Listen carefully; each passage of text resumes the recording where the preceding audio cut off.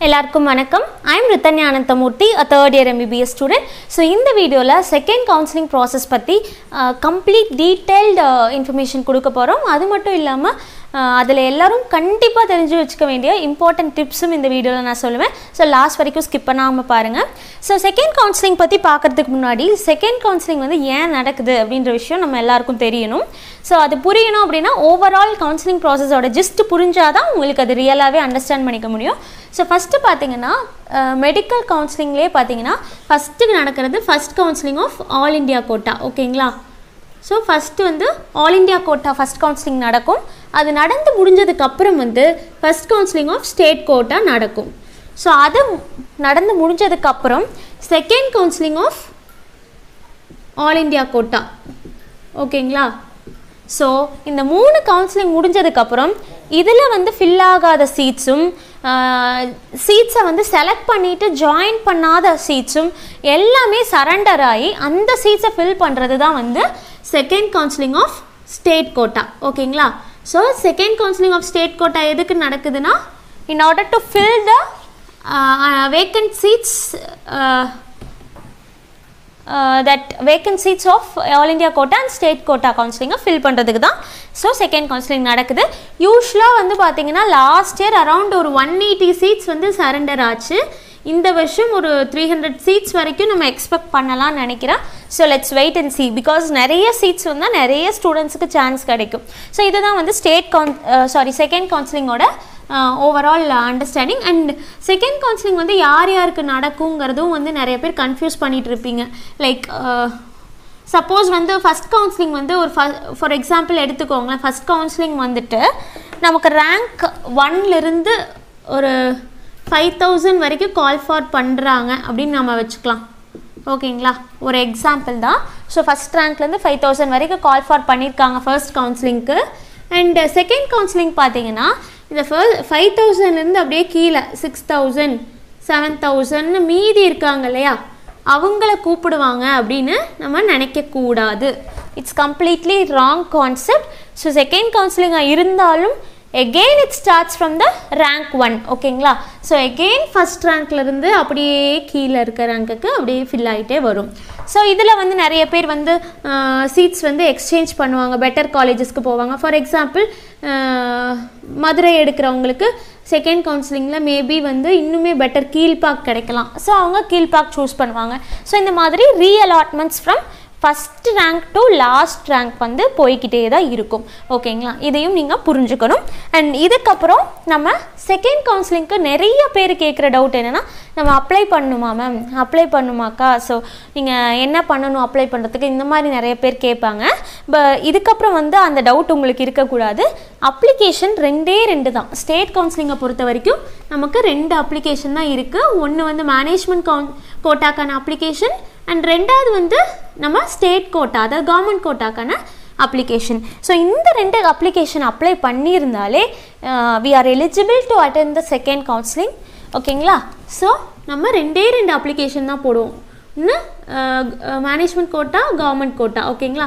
இந்த ரெண்டுக்கும் அப்ளை பண்ணாலே automatically you are eligible to attend the second counselling so இந்த விஷயம் இனிமேல் நீங்கள் குழப்ப தேவையில்லை.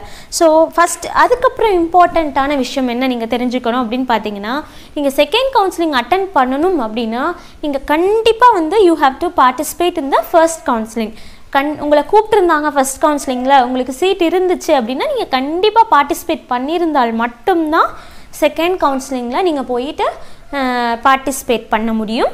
இந்த இடத்துல ஒரு குட்டி கன்ஃபியூஷன் இருக்குது அதை நான் முடிஞ்ச வரைக்கும் உங்களுக்கு தெளிவாக நான் எக்ஸ்பிளைன் பண்ணுறேன் பொறுமையாக கவனிங்க கண்டிப்பாக புரியும். சப்போஸ் வந்து ஃபஸ்ட் கவுன்சிலிங் வந்து நான் ஆல்ரெடி சொன்ன மாதிரி ரேங்க் ஒன்லேருந்து ரேங்க் ஃபைவ் தௌசண்ட் வரைக்கும் நடக்குதுன்னு வச்சுக்கலாம். ஸோ இப்போ ஃபைவ் தௌசண்ட் ரேங்க்குள்ளே இருக்கிற அந்த ஐயாயிரம் ஸ்டூடெண்ட்ஸையும் வந்து நம்ம கூப்பிட்ருக்காங்க ஓகேங்களா ஃபஸ்ட் கவுன்சிலிங்க்கு கூப்பிட்ருக்காங்க இதில் ரெண்டு சினாரியோ எடுத்துப்போம். ஒருத்தவனுக்கு வந்து ஃபோர் தௌசண்ட் ஃபைவ் ஹண்ட்ரட் இருக்க ரேங்க் இருக்க ஒரு ஸ்டூடெண்ட் அண்ட் இன்னொரு ஸ்டூடெண்ட் வந்து சிக்ஸ் தௌசண்ட் இருக்கக்கூடிய ஸ்டூடெண்ட் ஓகேங்களா ஃபஸ்ட்டு நான் இந்த கேஸை சொல்லிடுறேன். ஸோ அவங்க கூப்பிட்டதே ஃபைவ் தௌசண்ட் தான். நம்ம ரேங்க்கை கூப்பிடவே இல்லை. அப்போ இந்த ஸ்டூடெண்ட்டுக்கு என்ன அப்படின்னா செகண்ட் கவுன்சிலிங் அட்டன் பண்ணுறதுக்கு ஃபஸ்ட் கவுன்சிலிங் அட்டன் பண்ணியிருக்கணும்னு அவசியமே இல்லை. ஏன்னா அவனை கூப்பிடவே இல்லை. So he is not he he is not fit in to this rule so அவன் செகண்ட் ஃபஸ்ட் கவுன்சிலிங் அட்டன் பண்ணலைனாலும் இந்த கேட்டகரியில் இருக்கக்கூடிய student he can go and attend the second counselling ஓகேங்களா? ஸோ இது தெளிவாக இருக்குது இப்போ வந்து நமக்கு ஆல்ரெடி கூப்பிட்ருக்க பையனை எடுத்துக்கலாம். Suppose four thousand five hundred rank இருந்த வந்து student is going to attend the first counselling and அதுலேயும் வந்து ரெண்டு சினாரியோ நடக்கலாம். எப்பயுமே வந்து கவுன்சிலிங் ஆஃப் கவுன்சிலிங் ஹாலில் எக்ஸ்ட்ரா ஸ்டூடெண்ட்ஸை கூப்பிட்டுருவாங்க. ஏன்னா நமக்கு ஸ்கிப் ஆகிறது எவ்வளோ தூரம் போகும்னு தெரியாது.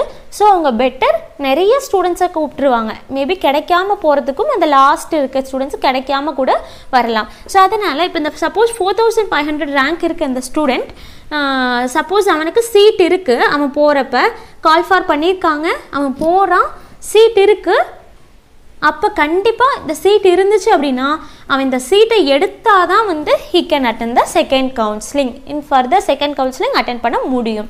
இதே ரெண்டாவது சினாரியோ அவனை கால் ஃபார் பண்ணாங்க பட் அங்கே வந்து எல்லா சீட்ஸும் முடிஞ்சிருச்சு.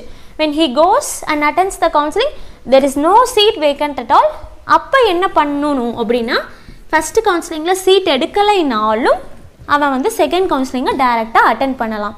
ஏன்னா அவன் போனால் he didn't have any seat to choose that is why he haven't chosen any college so he is automatically eligible for attending the second counselling so இந்த இடத்துல நீங்கள் தெளிவாக புரிஞ்சுக்கோங்க இன்னொரு வாட்டி ரீவைண்ட் பண்ணி கூட பார்த்துக்கோங்க. ஸோ இந்த கான்செப்ட் நீங்கள் புரிஞ்சிருக்கணும்.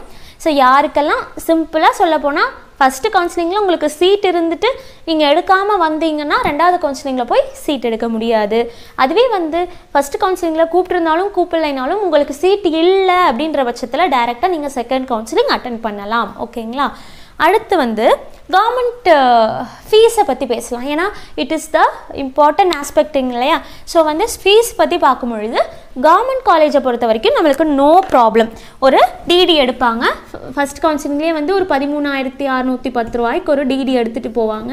ஸோ செகண்ட் கவுன்சிலிங்கில் போய் வேறு காலேஜ் மாற்றினாலும் எக்ஸ்ட்ராவாக வேறு எதுவும் பே பண்ண தேவையில்லை.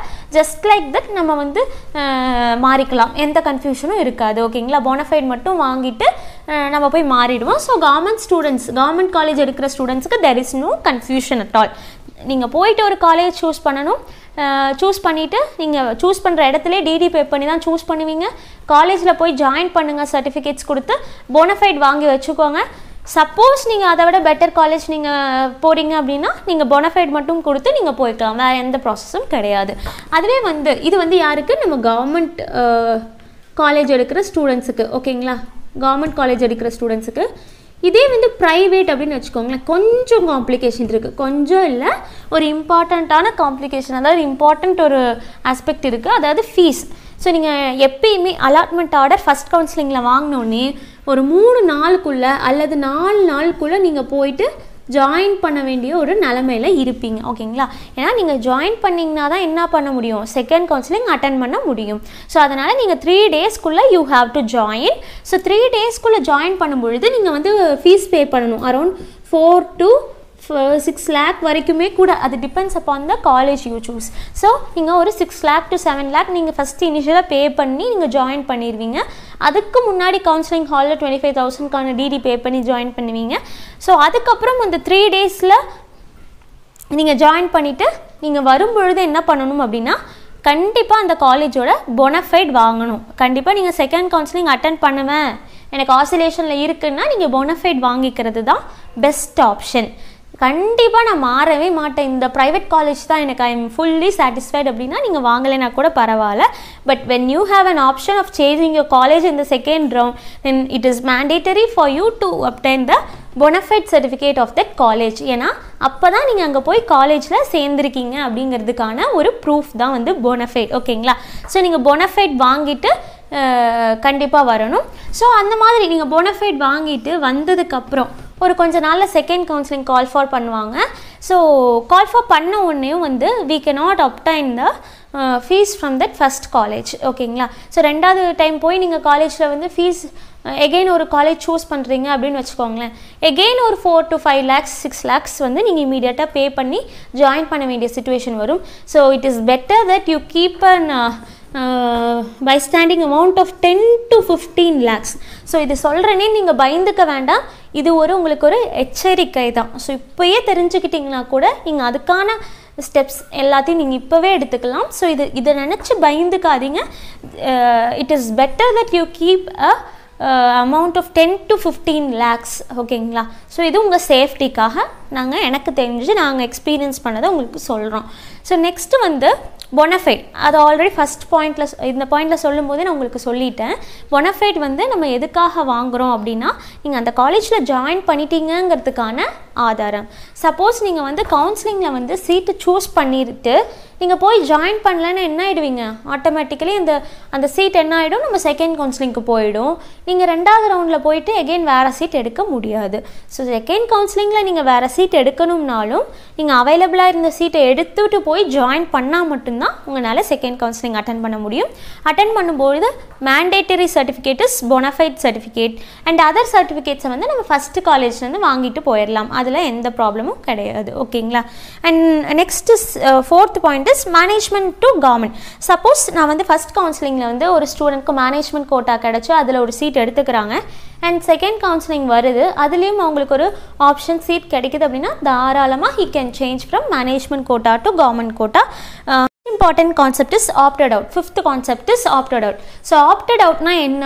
ஸோ அதை எப்படி வந்து ஒரு காலேஜில் சீட் சூஸ் பண்ணுறதுக்கு என்னென்ன ரூல்ஸ் இருக்குது என்ன தெரிஞ்சிருக்கணும் அப்படிங்கிறத செப்பரேட்டாக நான் ஒரு வீடியோவாக போடுறேன். கண்டிப்பாக இந்த வீடியோவும் பாருங்கள் அதுலேயும் நிறைய இம்பார்ட்டண்ட்டான விஷயங்கள் நீங்கள் தெரிஞ்சுக்க வேண்டி இருக்கும் அண்டு செகண்ட் கவுன்சிலிங்கில் நம்ம ஆஃபன் ஒரு ரெண்டு டேர்ம்ஸ் யூஸ் பண்ணுவோம். ஒன்று வந்து ரீ அலாட்டட் இன்னொன்று வந்துட்டு என்னது ரீ அலாட்டட் ரீடைன்டுங்கிற வார்த்தைகள். அது ஒன்றுமே இல்லை. நீங்கள் சப்போஸ் ஒரு ஏன்ற ஒரு காலேஜ் சூஸ் பண்ணியிருக்கீங்க அப்படின்னா செகண்ட் கவுன்சிலிங்லேயோ மாப்பப் ரவுண்ட்லேயோ நீங்கள் பிங்கிற காலேஜுக்கு போனீங்க அப்படின்னா your reallotted to B college நீங்கள் ஏங்கிற காலேஜை சூஸ் பண்ணிவிட்டு ஏழையே இருந்துக்கிட்டீங்க அப்படின்னா யூர் ரீடைன்டு ஓகேங்களா ஸோ இதுதான் வந்து இந்த ரெண்டு terms and hope this Uh, this video gave you an elaborate and clear cut idea about uh, second counseling. And uh, நானும் முடிஞ்ச வரைக்கும் தெளிவாக பொறுமையாக சொல் சொல்லியிருக்கேன் நினைக்கிறேன். So in case if you having any doubts regarding any of this process you can ask இந்த comment section நாங்கள் முடிஞ்ச வரைக்கும் ஆன்சர் பண்ணுறேன் அண்ட் இந்த மாதிரி ஒரு இம்பார்ட்டண்ட்டான இன்னொரு வீடியோவில் சந்திக்கிறேன். நன்றி வணக்கம்.